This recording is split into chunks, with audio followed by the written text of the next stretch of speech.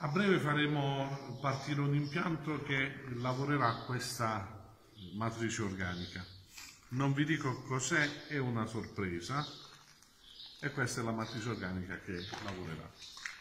Questa è una prima lavorazione, poi fuoriesce una seconda lavorazione, che è una matrice leggermente diversa.